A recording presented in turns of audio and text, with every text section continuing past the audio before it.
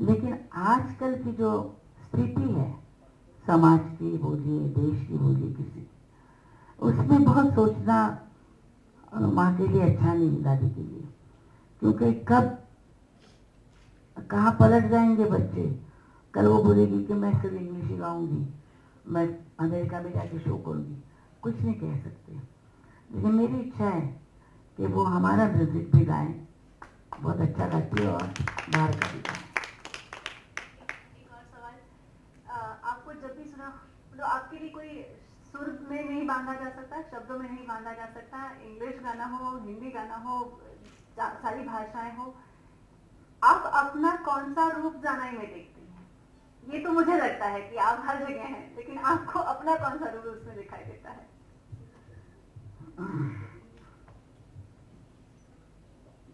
निश्चय निश्चय करना और उस पर डटे रहना।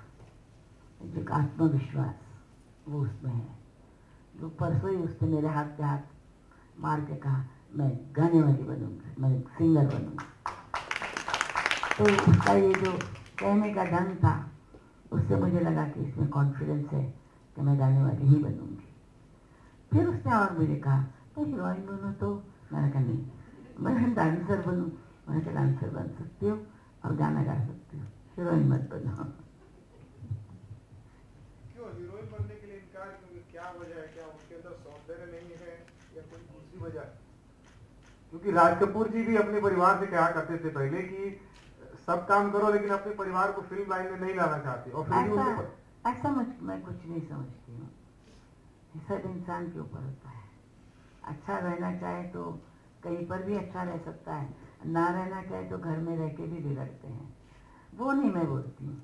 लेकिन हीरोइन का लाइफ छोटा होता है। और सिंगर का लाइफ अस्सी साल तक होता है। अगर डांस करेगी और गाएगी तो उसका लाइफ लंबा होगा। की तिसऱ्या पिढीमध्ये गाणं उतरतं. तर राधा मंगेशकर आहेत आदिनाथनी पण गाण्याचा प्रयत्न केला. त्यांच्या बाबतीत असं का पुढे सरकले नाही? तेही तिसऱ्या पिढीचे भागीदार आहेत.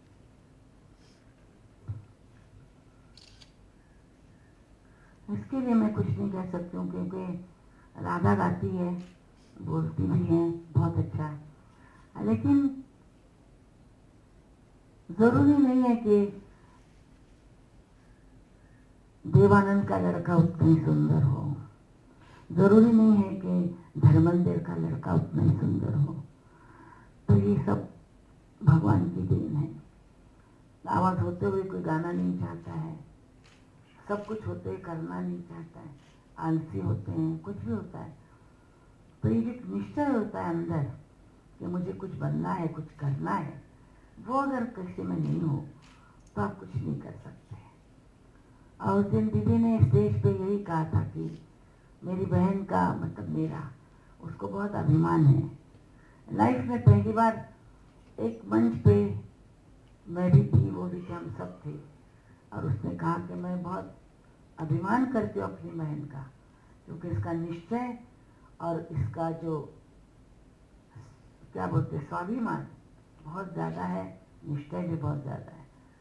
उसने कैसे भी दिन निकाले, दुख में बहुत बुरे दिन निकाले, लेकिन हम बहनें, चार बहनों के पास मतलब तीन वो और भाई एक, हमारे सामने उसने कभी हाथ नहीं फैलाया एक आने के लिए तो मुझे बहुत उसका अभिमान है, क्योंकि वो बहुत निश्चयी है। और ये निश्चय जब आदमी में आता है कि मैं कुछ करके दिखाऊँ तो उसे कोई रोक नहीं सकता है। अगर वो मेरी पोती में आ जाए तो उसमें कोई रोक सकेगा दोन प्रश्नांची विनंती करतो। जो भी हिंदी, मराठी, इंग्लिश, जो भी पूछना चाहे।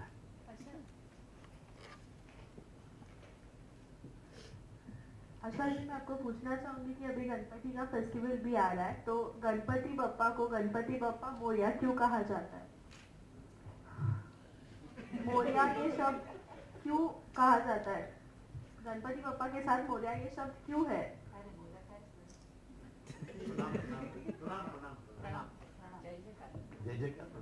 खरं सांगू का म्हणजे मला मोऱ्या का म्हणतात हे माहित नाही, पण मोऱ्या हा प्रणाम आहे. त्याचा गणपती बाप्पा मोऱ्या प्रणाम.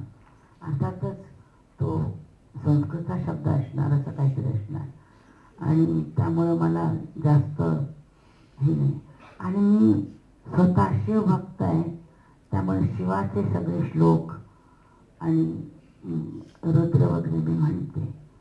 मी स्वतः शिवाची भक्त आहे. अर्थात गणेशाची पण भक्त आहे त्याचाच मुलगा तो. पण इतक्या आतले अर्थ सगळे मला कळले नाही आता ये प्रश्न वैसा ही था जैसे राधा कृष्ण क्यों है? सीताराम क्यों है? अगला आखिरी प्रश्न मैं आपसे अनुरोध करता हूँ। लोकसभा का चुनाव चल रहा था तो लता जी ने कहा था कि नरेंद्र जी प्रधानमंत्री बनेंगे। अभी महाराष्ट्र का चुनाव आने वाला है। तो आपके हिसाब से कौन मुख्यमंत्री बनना चाहिए?